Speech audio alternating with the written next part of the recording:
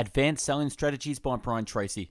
Strategy, tactics, and mental preparedness separate superior salespeople from the average. And with technological advances, even in the competition, the selling edge is now more important than ever. Drawing on his own successful sales career and his extensive experience as a sales consultant and seminar leader, Brian Tracy has developed the most comprehensive and effective approach to selling ever created. Advanced Selling Strategies provides you with the techniques and tools used by top salespeople in every industry, methods that net immediate and spectacular results. The book explains how to develop the self image to give you the edge in every sales situation. Concentrate on the customer's emotional factors to ensure better sales results. Identify your customer's most pressing concerns and position your product or service to fill those needs. The written and audio summary can be found on our website, bestbookbits.com. So, without further ado, I bring you the book summary of Advanced Selling Strategies. Main idea about this book the sales profession is one of the most interesting and most dynamic and most rewarding business fields available. And to successfully build a career in this field, there's really only one concept to keep in mind you don't have to be a pioneer. In other words, don't try to blaze your own trail. Instead, learn from the success of others. Study the sales techniques which have worked for other people in other settings and with other products and services. Evaluate what worked for them, adapt these new principles to suit your own specific product or service, and move ahead. The principles of success remain the same regardless of what you're selling. The principles of success remain the same regardless of what you're selling. All it takes is the ability to adapt and adopt the techniques of sales success to your own needs and requirements. Number one, the psychology of selling. 80% of your success in the field of selling will be determined by what you think about. Therefore, by learning to think the same way the most successful salespeople do, you can improve your performance dramatically and immediately. Supporting ideas. Every person has a self concept, a mental set of beliefs about themselves and the world. A self concept has three main parts. Number one is self ideal, the person they like to be if everything went right. Number two is self image, the way people see themselves at the present time. And number three, self esteem, the alignment between self image and self ideal. The key to sales success lies in doing everything you can to build your self esteem. The higher your self esteem, the more successful you'll be in a sales role. To build and enhance your self esteem, number one, always see yourself as self employed, the president of your own professional sales company, which may presently be subcontracted out to someone else. That means accepting total responsibility for what you accomplish. Number two, see yourself as a consultant, a problem solver, rather than a vendor trading money for your product or service. Approach clients with that attitude. And number three, act like a doctor in the client's best interest. To do so, you must examine first, then diagnose, and finally prescribe what they need. Number four, think strategically. Set clear goals, develop blueprints and plans, act decisively, and don't be worried about short term setbacks. Number five, be intensely results orientated. Combine empathy and ambition together in balance as you focus on effective utilization of your time. And number six is be ambitious. Work towards becoming the best in your field. When excellence is your standard, you'll act differently, more purposefully, in fact. And number seven, apply golden rule selling. Sell to other people the same way you'd like to be sold if you were in the same position. That way, you'll always act with honesty and integrity in everything you do. Key thoughts The quality of your thinking determines the quality of your life. The quality of your thinking determines the quality of your life. Brian Tracy. You can learn anything you need to learn to achieve any goal you want by finding out what others have done before you to get the results you want to get. If you believe you can do a thing or believe you cannot, in either case, you are probably right. Henry Ford. Chapter 2 The Development of Personal Sales Power. The main idea in selling, everything counts, but 80% of your success will be derived from the quality of your personality. Therefore, build your personality by number one, taking full responsibility for your own life. Number two, interpreting everything that happens in a positive light. Number three, making a commitment to excellence in your field. And number four, being persistent. Five, having integrity, perfect honesty with yourself and others. And number six, being grateful to everything you have. And seven, setting clear and specific goals. In addition, you need to understand the mental laws of success and engage in regular daily mental exercise. Supporting ideas. The seven main mental laws that apply to sales are number one, the law of cause and effect. There is always a direct link between what's done and what's achieved. Number two, the law of compensation. Remuneration is always linked to the level of contribution. Number three, the law of control. The greater amount of control you have over your own life, the happier you'll be. Number four, the law of belief. Whatever you believe with emotion becomes your own personal reality. And number five, the law of concentration. Anything you mentally dwell on will expand until it fills your thoughts. And number six, the law of attraction. You always attract the people and circumstances that align with your most dominant thoughts. And number seven, the law of correspondence. Your outer world will always mirror your inner world in every detail.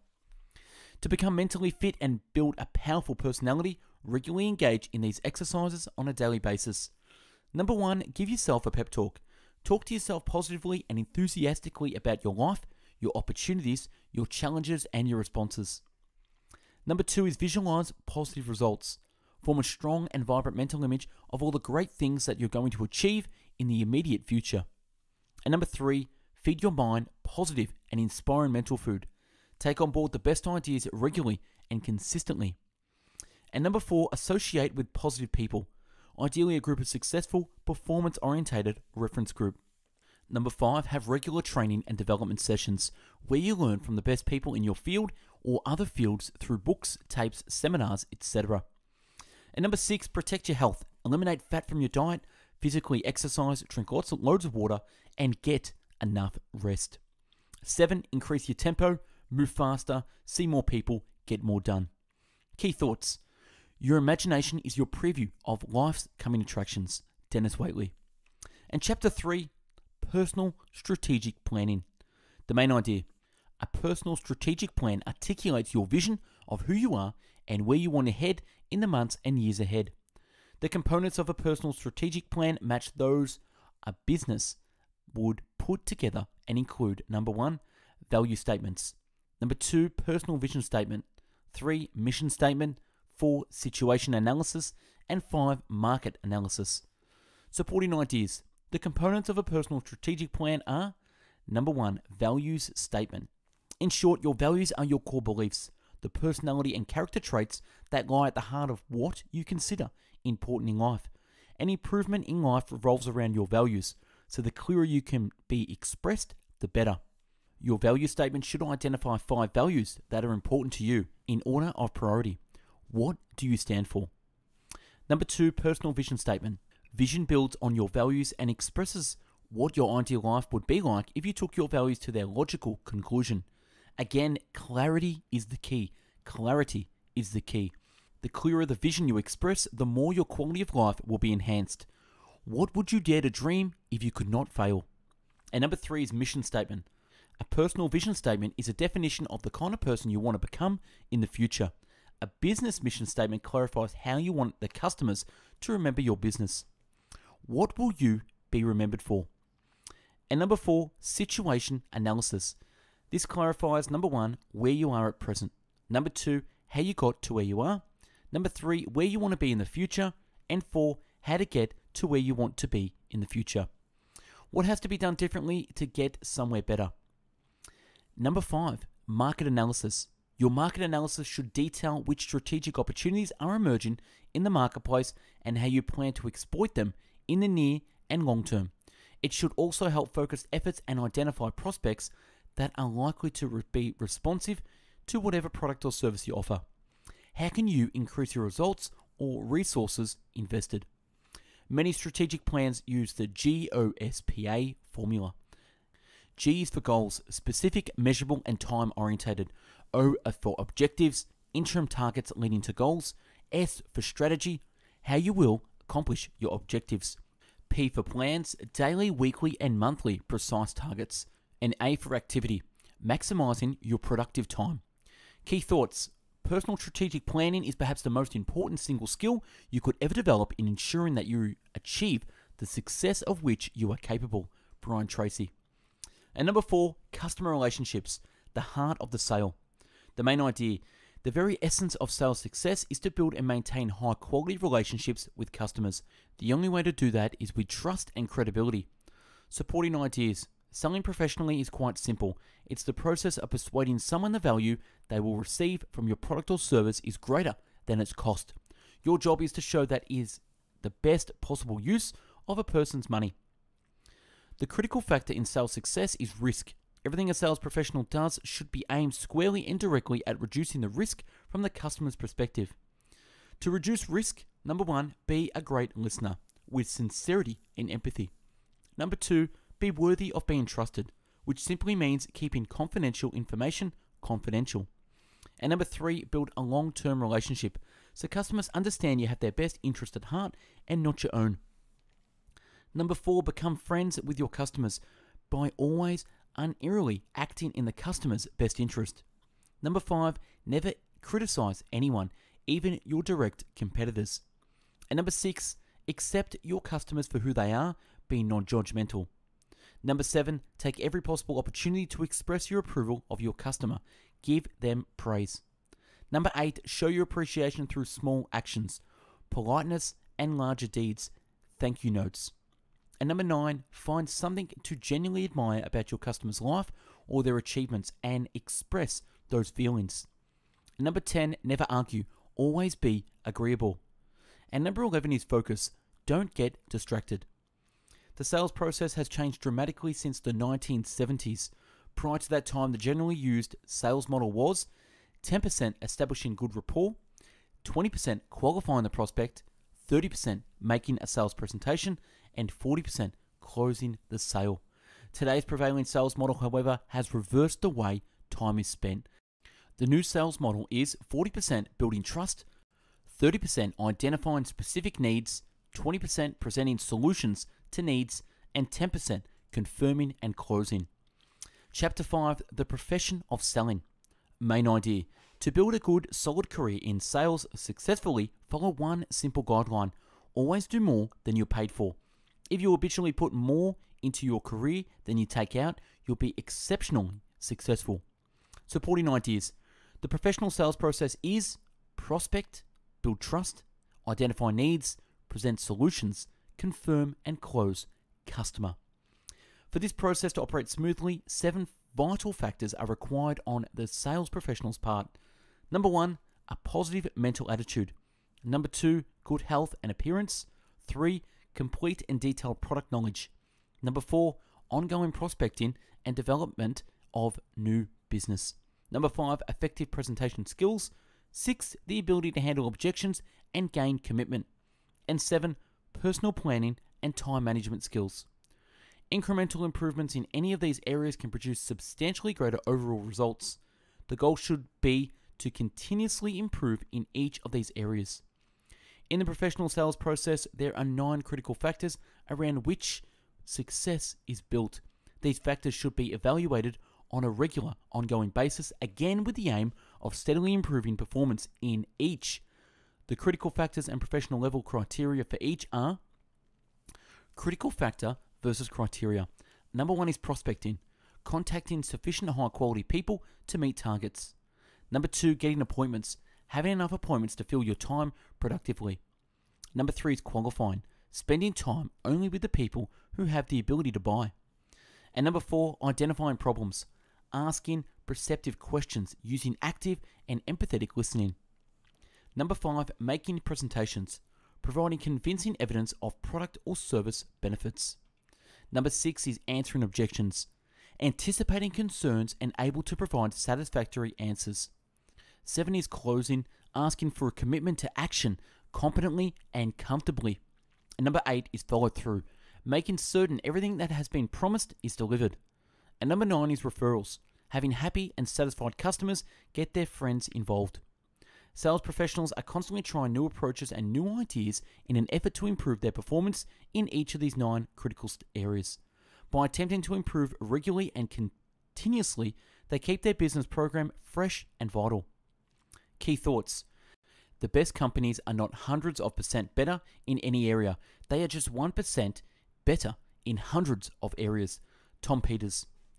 Courage is rightly considered the foremost of all virtues, for upon it all others to pend. Winston Churchill.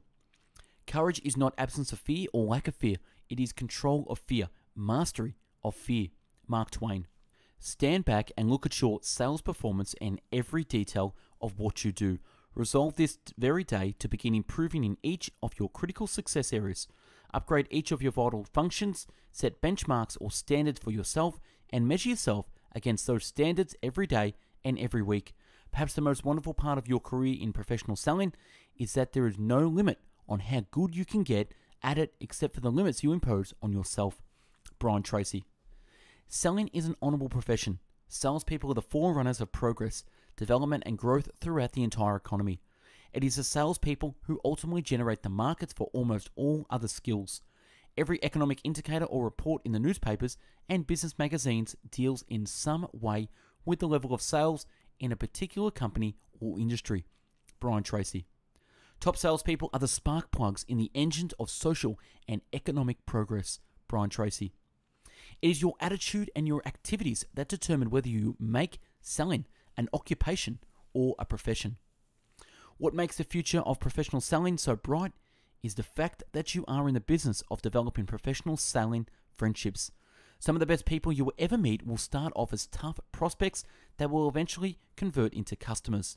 The greatest joy that you'll ever receive from your profession is the deep inner satisfaction that will come from knowing that through your products and services, you are making a real difference. Brian Tracy. In my conversations with hundreds of top salespeople over the years, I have found that they all have one thing in common. They all have clear, written goals. They have taken their time to sit down and create a blueprint for themselves and their future lives. Every one of them has been amazed at the incredible power of goal setting and strategic planning. Every one of them has accomplished far more than they ever believed possible in selling. Brian Tracy. And chapter 6 is motivating people to buy from you. The main idea sales professionals are intensely interested in their reasons people decide to buy for them. They meticulously analyze why current customers have purchased from them, since this is the key to expanding their sales effectiveness. Supporting ideas. Everyone has a primary and secondary reasons for what they do. Number one, the primary motivators are the utility requirements, i.e., you buy a car because you need transport. Number two, the secondary motivators are the specific reasons your product or service was selected from all available choices. E.I.G., you buy a sports car because it's fun to drive. Quite frequently, there will be two reasons for making any purchase decision. Number one, the logical reason that sounds good to other people. And number two, the real reason, which is emotional and often irrational.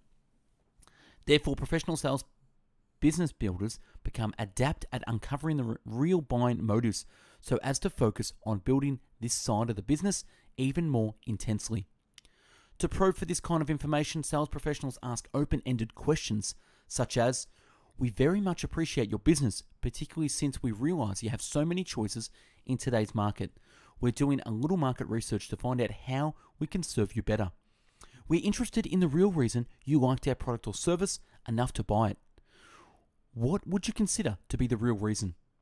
From there, you can branch off a number of other questions. For example, every product has its strengths and weaknesses. We're interested in your opinion from your perspective. What do you feel are the strengths and weaknesses of the product or service we offer? Sales professionals are intensely interested in gathering and analyzing information about why people buy their product or service. In effect, studying present clients and customers unlocks the key to serving even more clients and customers in a similar fashion in the future. In addition, people who have not bought from you can also provide a wealth of information.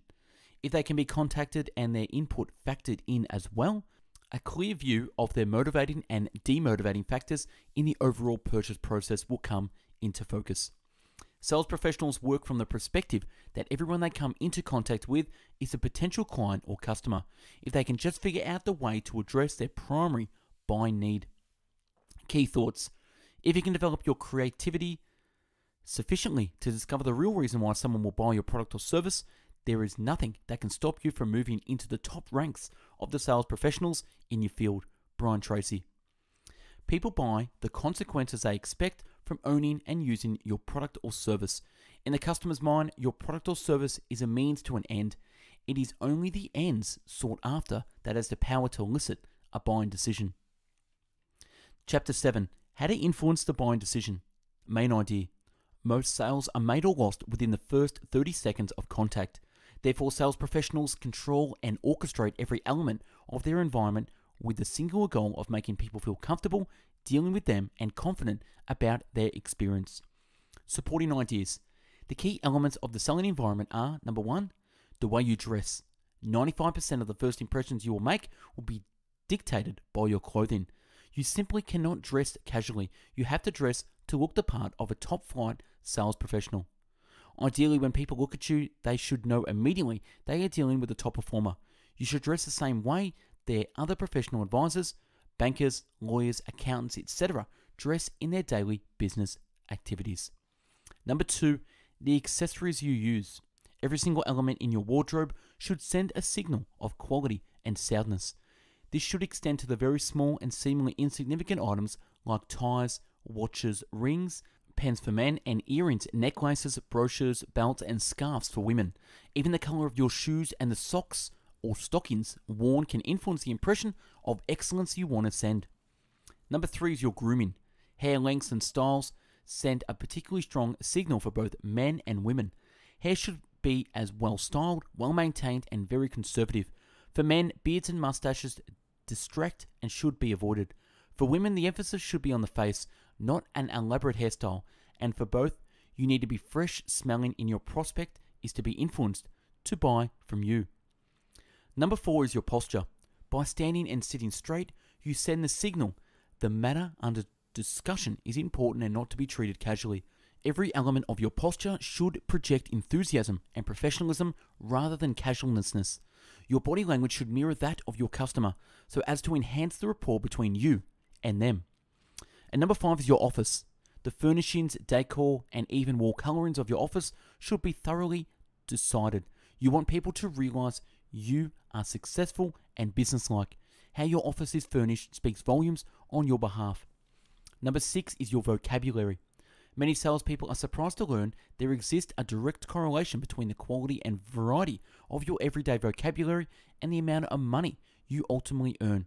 In short, to make more, increase your vocabulary and enhance it with the knowledge of a better grammar and dictation. The results will surprise. Key thoughts all top salespeople consciously and deliberately orchestrate every single element of their environment. This attention to detail is the mark of a true professional. Brian Tracy. And Chapter 8 Prospecting Filling the sales pipeline. Main idea To build a successful business, you must have an ongoing new business development program underway. In the sales field, that means prospecting, finding the requisite number of new people each week who are capable of buying your product or service. Supporting ideas before worrying about your prospecting, take a few minutes to develop a list of the attributes of an excellent prospect. They will most likely be people who are number one, have a pressing need for your product or service. Number two, they can appreciate the cost benefit relationship involved. Number three, have a history of positive experience with your industry. Number four, are able enough to buy enough of your products to make it worthwhile. Number five, can act as a future site of your reference for you and six are capable and willing to pay for what they buy promptly, and seven are reasonably close to your office or business.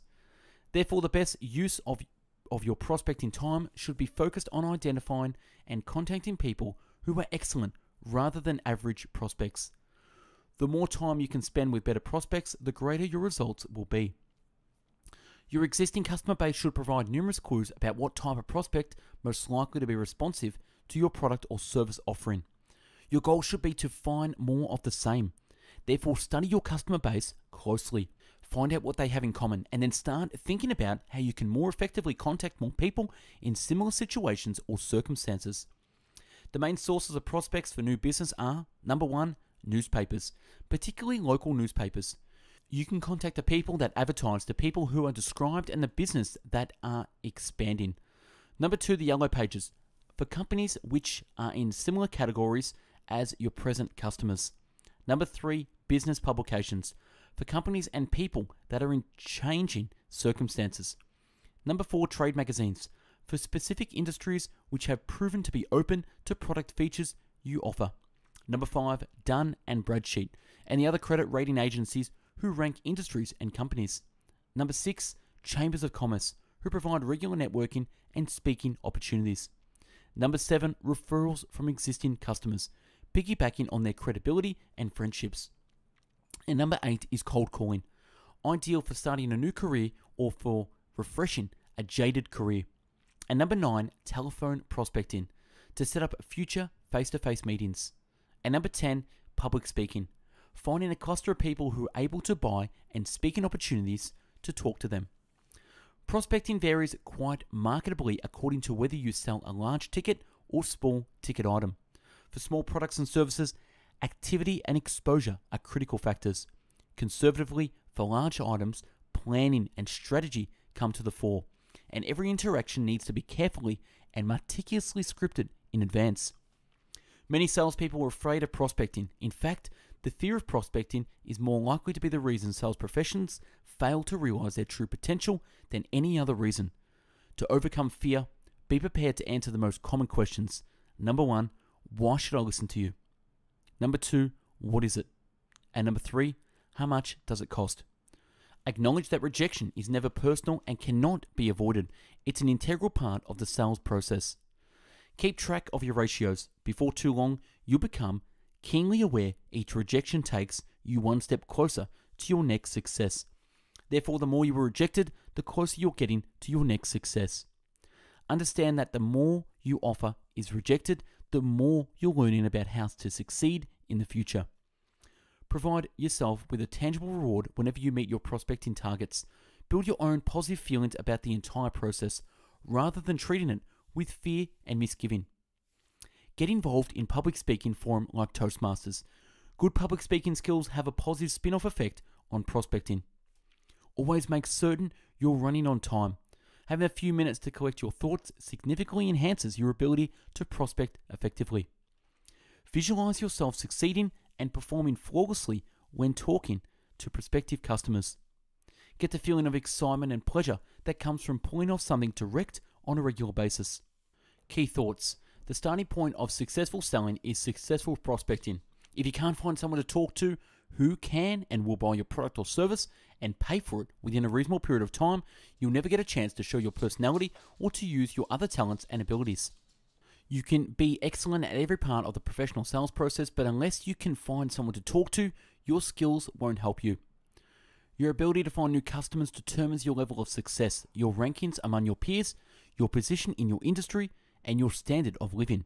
You owe it to yourself, therefore, to become absolutely excellent at prospecting. You can observe a lot just by looking. We don't mind if people make mistakes at IBM, there's nothing wrong with that. But to make the same mistake over and over again without finding out why is unforgivable. Thomas Watson Jr. You are in the business of new business development. Chapter 9 How to Make Powerful Presentations. Main idea Effective presentations are the centerpiece of the professional sales process. The ability to give influential and persuasive presentations to prospects can offset average performance levels in every other part of the overall sales process. Supporting ideas A professional sales presentation is structured around three basic parts. Number one, establish rapport to get attention. Number two, identify the problem as it relates to them. Number three, present the solution, which is cost effective and specific. Uses open ended questions as an integral part of the presentation. The most effective questions number one, identify and articulate specific needs. Number two, demand attention by highlighting problems you can solve. Number three, illustrate how your product or service provides solutions. And number four, can be used to gain a commitment to action. Three centers around for unspoken thoughts every prospect has in their back of their mind throughout. Number one, why should I listen to you? Number two, what is it? Number three, what's in it for me? And number four, so what? And number five, how do I get it? Takes into account the personality type of the prospect and uses preferred buying strategy that is most applicable. The four personality types of their buying strategies are number one, the relator sensitive to the effect a purchase decision will have on others. These people need time to make a decision and reassurance others will approve. Number two, the socializer, who is achievement orientated with all the trappings of power and influence. These people need acknowledgement and specifics about how your product will help them achieve greater success. And number three, the analyzer, who is concerned with doing the right thing.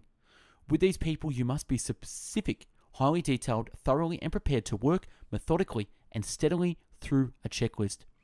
And number four is the director, who focuses impatiently on the bottom line results.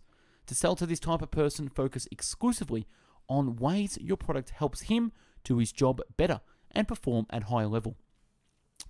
And do it quickly before they lose interest. And number five, use testimonials effectively to create credibility and trust in what you can deliver. Testimonials come in three flavors. Number one, letters from satisfied customers. Number two, list of current clients. Three, photos of people using your product or service. Six, frequently invites the prospects to express number one, what they are thinking, two, how they feel, and three, their opinions. Number seven is an accurate reflection of the salesperson's own personality. When personality is injected into the sales presentation, people stop focusing on the product or service and instead begin responding to the personality elements. Number eight has a pace and flow which matches the preference of the purchaser. And number nine generally deals with price last, so as to provide the information by which value can be determined before price is discussed. Number 10, aligned with the buying process of all customers and clients must go through. The buying process has three stages. Stage one, when the prospect realizes the need exists. Number two, when the prospect evaluates solution options. And three, when a definitive decision is made. Number 11 satisfies the law of four, which states for every decision there will usually be one major item and three minor items to be resolved. Nobody ever makes a decision to buy until all four items have been considered. Number 12, use hot buttons, emotional triggers about very specific elements of your product or service solution to increase enthusiasm for the purchase decision. Number 13 demonstrates your ability to use specialist knowledge on behalf of your client or customer by illustrating number one, that you have thorough product knowledge, two, that you have an in depth appreciation of their needs, number three, that you have prepared carefully to serve them, number four, that your timing is appropriate, and number five, that your personality matches your product or service, and six, that you have practiced and rehearsed beforehand. Number seven, that you practice whatever you preach. 14 is built around the ideal of 1. Showing a feature in action, 2. Telling what that means in terms of benefits, and 3. Asking questions about the significance of that feature. Number 15 moves from general concepts to specifics steadily and logically. Number 16 maintains momentum towards a sales decision by the use of the TDPPR formula. All future steps should always specify T, a time the next meeting will take place. D, a specific date. P, the place for the next meeting. P, the people who will be involved. And R, the reason or rationale for the next meeting. Key thoughts Most sales in America start off this way. The positive, prepared salesperson meets the negative, uninterested prospect. But the professional salesperson is prepared for this. He is ready to take the prospect one step at a time through the process from skepticism about the product to complete conviction that this is exactly what he needs. Establishing a friendly relationship, asking questions to uncover real needs, and then giving a thoroughly planned professional sales presentation is the key to turning the prospect around from a doubter to a customer. This is the business you are in. You talk to people who have no interest in what you are selling. They have no concept at all of how they could be better off by accepting your recommendations. Your job is to convert them from suspicious person to a committed customer. Your job is to use personality and persuasion skills to build high quality customer relationships that result in immediate sales and continue with the sales and referrals into the future. That is what you are paid for, and there is no limit to how good you can become if you work at it. Chapter 10 is closing the sale, the end game of selling. Main idea fortunately, closing a sale is difficult. That creates the opportunity for you to prosper and earn tremendous wealth. If closing the sale was easy, all they'd need and pay for is an order taker, and anyone on minimum wage can do that. supporting ideas. It's in handling objections and closing the sale that the salesperson, number one, the prospect is afraid of making a wrong decision. Number two, the salesperson is afraid of being rejected. Three, the customers are busy and frequently preoccupied. Number four, inertia has to be overcome before action is taken. Objections serve a key role in the sales process. Number one, they're good because they indicate interest. Number two, they show where prospects are unclear about benefits. Number three, they indicate that people are seriously considering the offer. The best ways to handle objections number one, differentiate between a condition, a genuine reason for not buying that cannot be answered, and an objection, which can be answered with additional information. Number two, the best way to handle an objection is to answer it before it comes up. Develop good, solid answers to the six most common objections that come up in your presentation. Anticipate and have little room for doubt to creep in at later stages. Number three, treat objections simply as request for more detail. Compliment the prospect for raising that matter. Reinstate it back to them to make certain you have grasped their true meaning and intelligently and thoroughly discuss the matter in greater detail. Number four, never take an objection personally. Some people have a lifetime of conditioning against salespeople. Show you're acting in their best interest to offset that. Ideally, you want to get the prospect to specify one condition on which closing the sale will hinge. Once they do that, then you effectively have a closing condition, the hurdle you must cross to complete the sale. Frequently, price will be the main objection. To show that your product is fairly priced in the competitive market, number one, find an appropriate way to demonstrate the value which will be delivered by your product or service. The greater the dramatization of this demonstration, the better. Number two, ask why how much your price is too much. Then focus on showing why that differential is worth paying to greater benefits. Number three, tell a success story about a person in a similar situation and what they found.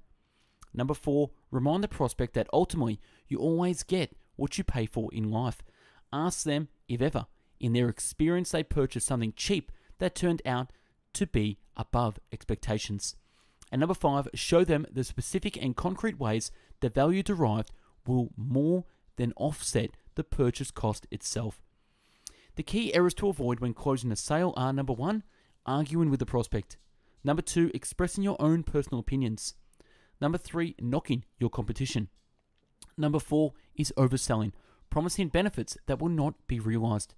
And number five, making promises you're unable to ultimately deliver on. The key closing techniques are number one, the invitational close, simply and clearly inviting the prospect to take advantage of the benefits of your product or service offers. Number two, the plan of action close, where the next steps are specified and the focus changes from yes, no decision to enjoyment of the product benefits. Number three, the preference close, where instead of asking for a yes or no decision, you keep on presenting the choices with regards to payment and delivery until everything is finalized. And number four, the alternative close, where your customer is asked to make a decision they only need to make if they go ahead with the purchase transaction. By making a small decision, they've already agreed to a large decision as well. Number five, the authorization close, asking them to sign off on the order by giving their authorization on the order form. And number six, the order sheet close, where you ask questions and start writing the answers on the order sheet. Number seven, the think it over close, where you ask him what it would take to satisfy him to be able to go ahead and make a decision today. Once that condition has been expressed, then you would have something tangible to deal with rather than vagueness and an arbitrary ending. Key thoughts The world belongs to the askers. The world belongs to the askers. Because of their fear of failure and rejection, most people are reluctant to ask for the thing that they want and need. They suggest, imply, and hint, but they are reluctant to ask and be told no. Much of your success and happiness in life will be determined by your ability and willingness to ask for the things you want. Brian Tracy. Once you have decided what you want, act as if it was impossible to fail, and it shall be. There are no limitations upon what you can accomplish in the profession of selling except the limitations you place on yourself by your own doubts and fears. When you practice acting boldly and behaving as if it were impossible to fail, you will soon make the quality of courage a fundamental part of your character where it will serve you all the days of your life. Your success in selling will then be guaranteed. There's never been a time or place in all history where an excellent salesperson could live a finer life than he or she can right now, right here in our economic system. And that's a wrap on advanced selling strategies. Subscribe to the channel and take a look at the hundreds of book summaries uploaded previously. To find hundreds of written summaries, check out our website, bestbookbits.com. And for hundreds of audio podcast summaries, find us on mixcloud.com forward slash bestbookbits. If you like reading and want to get involved in sharing knowledge and spreading great book summaries, connect with myself by emailing info at bestbookbits.com to join us. Thanks for watching and listening, and go out there and sell. Have a great day.